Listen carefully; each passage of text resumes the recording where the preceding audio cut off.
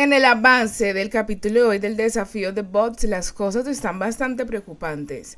Andrea les anuncia a los dos equipos que el premio mayor del ciclo subirá a 30 millones de pesos y que además de eso, pues tienen que darla toda porque este es el, la primera prueba de comida que es la más importante. Escudero en beta está bastante preocupado por el clima porque dice que así es más difícil competir.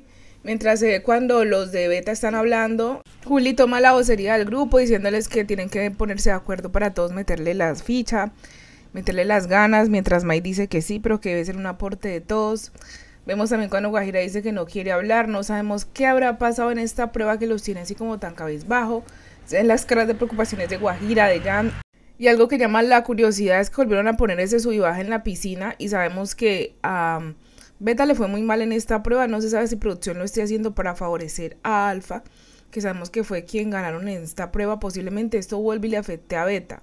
De igual manera, Beta sabemos que está en una grande desventaja con Escudero y Sarita. La verdad es que es injusto a veces que por culpa de algunos, otros participantes tan buenos como Iván tengan que salir de la competencia.